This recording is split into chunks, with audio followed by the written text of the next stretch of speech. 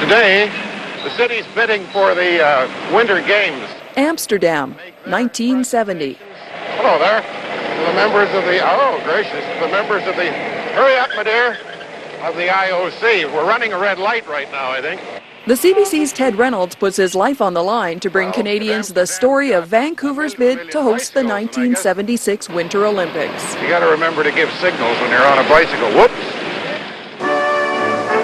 Vancouver Garibaldi, enthusiastically supported by the provincial and federal governments and all its citizens, can be Canada's first Olympic site.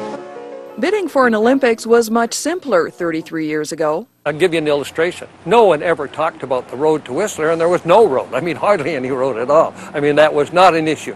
Uh, secondly, all the games, everything about the games were going to be built at Whistler. I mean, I remember uh, an arena of 10,000 people. There was nothing in Whistler. Uh, we brought this map along tonight. Because there was nothing, maps and models were used to show what the Olympics would look like at Whistler. The bid had the enthusiastic support of the WAC Bennett provincial government, and by all accounts it was well received by the IOC. Here's Reynolds with bid chair Sid Young immediately following the presentation. Young, that was a tremendously long session. How come you were in so long? Well, we were having a lot of fun. Um, this is a culmination of a uh, 10 years' work for many, many people. We had a lot to say. The committee seemed to want to listen, so we said. They may have listened, but they sure didn't vote for Vancouver. In fact, out of the four cities bidding, Vancouver finished dead last with a pitiful nine votes. Denver won the bid. Sion, Switzerland was second, Tampere, Finland third.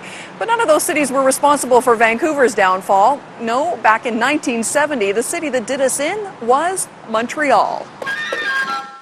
Back then, summer and winter Olympics were held in the same year. First of all, Montreal had had Expo, and Mr. Drapeau was a pretty sharp guy, no if buts or maybe. He had had he had every IOC member and his wife and family as his special guests to Montreal.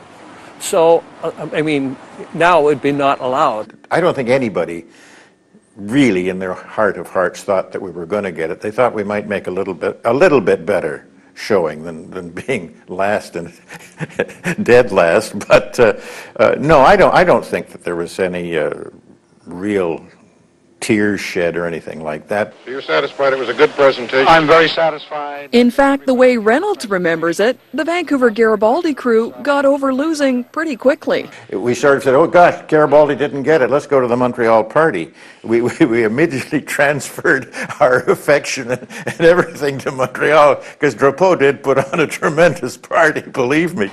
Now, the story doesn't end there. Although Denver won the right to host the 76 Winter Olympics, it had to forfeit after a civic vote against spending public money to build the facilities. The city the IOC approached to step in, Vancouver.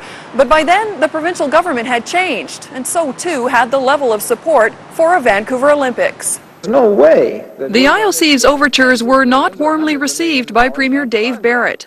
You know, if anybody uh, wants an example of taxpayers' uh, money going up the Olympic flume, take a look at uh, what's happened in Quebec.